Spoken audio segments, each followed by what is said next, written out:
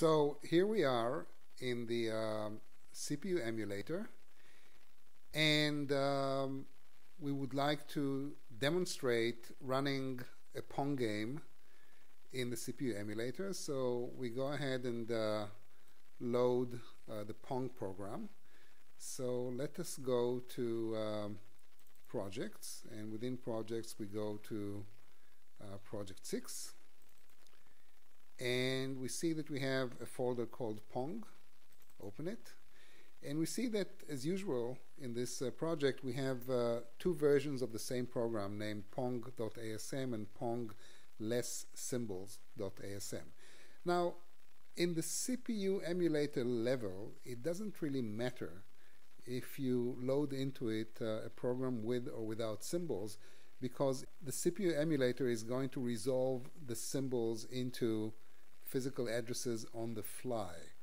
Uh, in other words, the CPU emulator has a built-in assembler uh, in it, and when you load a symbolic program into the ROM, which by the way is something that you cannot really do, we can do it only because it's in it's an emulator. Uh, so once again, it, it translates everything into binary code, and uh, uh, to prove it, let, let, us do that. Let's let's uh, you know let's select uh, this version of the program and uh, load it into the ROM. And I see that uh, I get a symbolic program, but uh, I, I, there are no symbolic labels in it. All the symbolic labels, like you know, this is probably has been at R0, and it was translated into at 3. So um, and once again, this is just uh, you know for illustration purposes because in reality, uh, the program looks. Uh, uh, excuse me, I think I have to do it here. Yeah, in reality, the program looks like this, but then obviously it's very difficult to uh, to follow it. So in the simulator level, uh, we allow looking at the program both symbolically as well as numerically.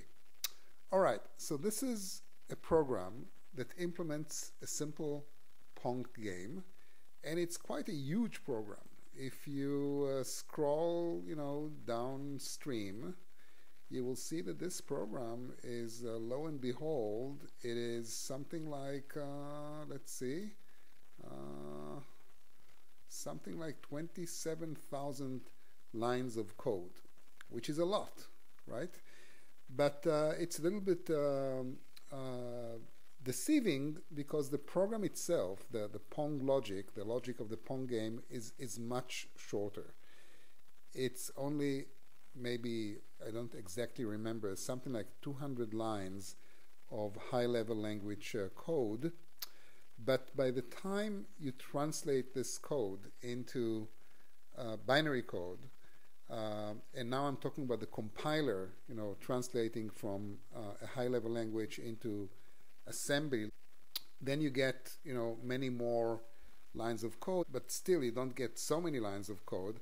The reason we have so much code here is because what you see here is not only an implementation of the Pong game, but also an, an implementation of the entire operating system that enables us to control the screen, the keyboard, and uh, uh, mathematics operations, and numerous other things that are needed when you implement uh, and run high-level language uh, uh, programs. So once again, just to summarize, it's important to note that the code that we see here was originally written in the Jack high-level language, and then it was translated by uh, a Jack compiler into uh, eventually into uh, uh, the code that you see here. So this code was not written by a human being; it was written by a compiler.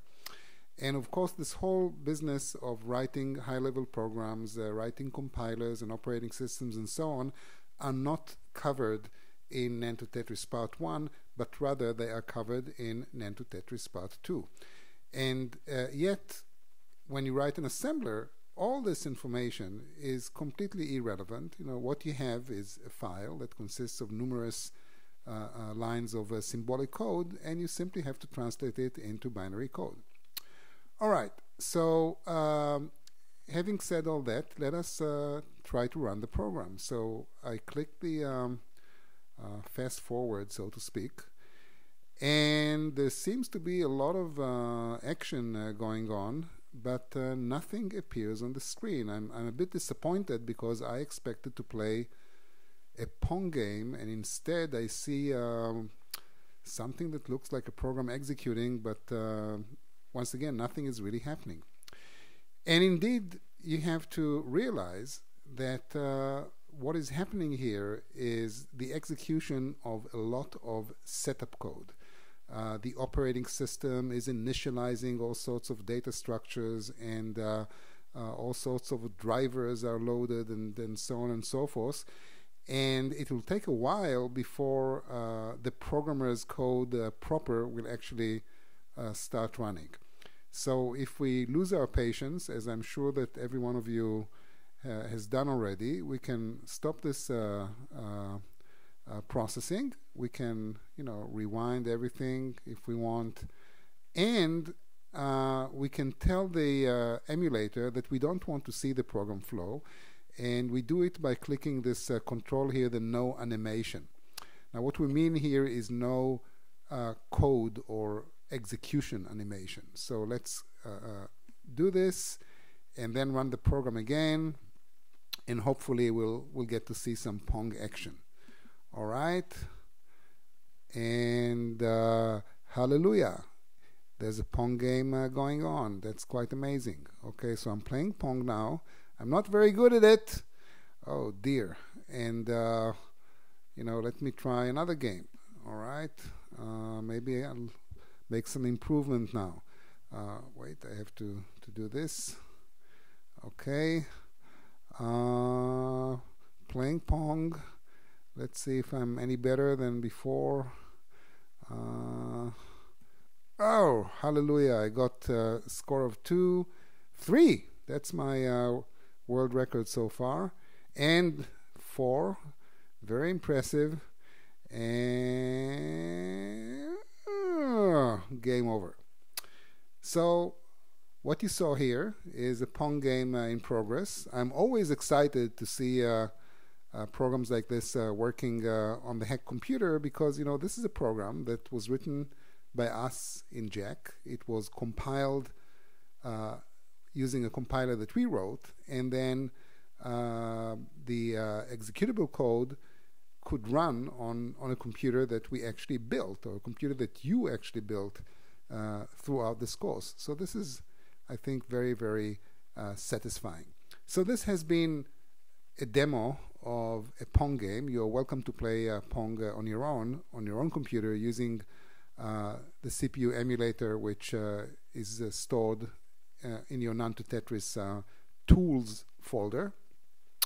And once again, I want to emphasize that as far as the assembler writer is concerned, all this story about Pong playing and so on, it's you know it's a very nice background story, but it has no relevance whatsoever to writing an assembler. An assembler could not care less if it has to translate uh, uh, 12 instructions or uh, 12,000 instructions. It's a computer program. It will process, you know, whatever file we give it to process, and uh, and that's it.